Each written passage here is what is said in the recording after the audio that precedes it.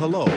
You are now watching Word of the Day, a series videos where we teach you how to pronounce certain words in Quechua. So our word of the day for today is Mitk'ay. Mitk'ay. Mitk'ay. in English, the Quechua word Mitk'ay. means the trip. For example, Huhrumiwa miskakurani.